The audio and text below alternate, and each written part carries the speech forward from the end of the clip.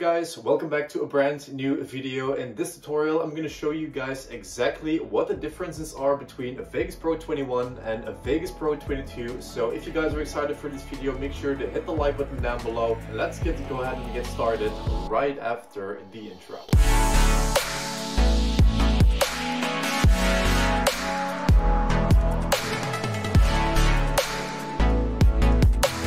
What is going on guys? Welcome back to a brand new Vegas Pro tutorial. So in this video we're going to do something that I've done before with certain other softwares. So in this video we're going to discuss what is actually, you know, different from Vegas Pro 21 compared to Vegas Pro 22. We're going to check all the new features because obviously Vegas Pro 22 does actually have a lot of new awesome features compared to 21 and we're going to also do a render test to see which version actually renders faster. You want to make sure that you will optimize all your settings so we're going to do a comparison test in Vegas Pro 21 and 22. We're going to take the exact same MP4 file that we're going to export in the exact same you know frame rate and resolution and then we're going to also save it on the same location so it's not going to be written on a faster drive than the other. It's going to be exactly the same. Alright guys, so as you can tell I have Vegas Pro 21 open right here here. And also on top of that I have Vegas Pro 22 open. So as you can tell you know starting from the basics the UI is still comfortable to use and it's even easier to get started with a new project or open existing one. They don't really change too much on the UI every single year and I think that's very very smart because obviously people don't like change or only maybe when there is some sort of familiarity in it. So that's really really good that they also just tweak things but in a very very minimal way so what's really cool is that Vegas Pro actually handled different types of footage that I've imported, such as a clip of a red camera, which is an 8K VistaVision clip at 23.98 frames a second, some 4K footage that I shot on my iPhone as well, and some old 1080p clips from a short video that I made a couple years ago. So it's actually really, really strong in that aspect. So I like going through the footage and easily color grading and tweaking the audio without the need to launch a separate app. So what's really cool about this is that it has obviously the new UI improvements, such as a new welcome screen to quickly set up a new project or open up an existing one. So you don't have to go ahead and browse on your hard disk for 20 minutes to find that specific Vegas project. It will just ask you right away when you boot up Vegas if you want to open up an existing one. The Explorer window has been also improved, plus the timeline section function has also been updated. We have flexible editing space to customize to fit the editor's needs, obviously.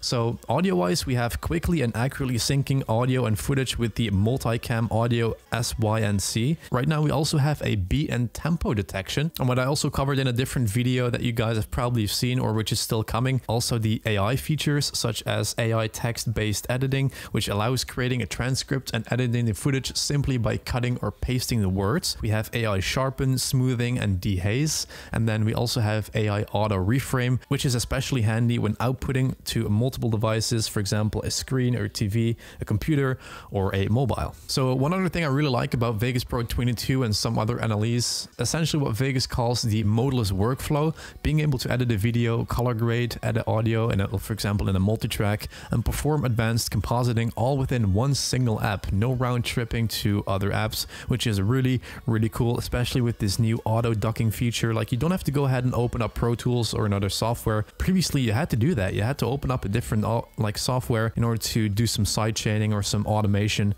in your background music, depending on your voice but that's now all possible within Vegas Pro. So obviously Vegas Pro 22 supports third-party apps and plugins like Mocha Vegas, SoundForge, Acid Pro, WizArtFX Suite, Vegas Pro Transitions Pack, and even more. Pretty much everything you need to professionally cut, grade, and finish any type of video or film projects. So obviously that is a huge difference to Vegas Pro 21 because Vegas Pro 22 has obviously all the power and features needed to quickly and effectively edit any and all types of projects from shorts to corporate videos, news, documentaries, feature films, and more. YouTubers, I think, will really appreciate the speed, the user interface, and more of that because the AI features also further speed up and enhance the post-production experience by handling some time-consuming tasks, and the AI speech, text, and text-based editing really are game changers. So now that you guys know all the differences between Vegas Pro 21 and Vegas Pro 22, such as the AI features and everything else that we have covered, and that we will cover in future videos as well, let's go ahead and do this render test test because I'm actually pretty curious how Vegas Pro 21 is going to hold up to Vegas Pro 22 because I remember a couple years ago, I think I did maybe Vegas Pro 19 versus 20. And I believe for one strange reason, Vegas Pro 19 was faster than uh, a version later. So let's go ahead and do this the same. So right here, as you can tell, I have two exact same videos, the same length, the same quality. So let's go ahead and render this out in 1080p 60 frames. And then we're going to save them to the same location, which is my desktop. And then obviously I'm going to the cameras up because I have no idea how long this is going to take. So let's go ahead and see how long Vegas Pro 21 needs to render this video. It's going to be 771 megabytes as you can tell right here. It's not too bad so it shouldn't take too long but I'm curious and let me know in the comments down below which one you think that will render faster. Is it going to be version 21 or will it be Vegas Pro 22?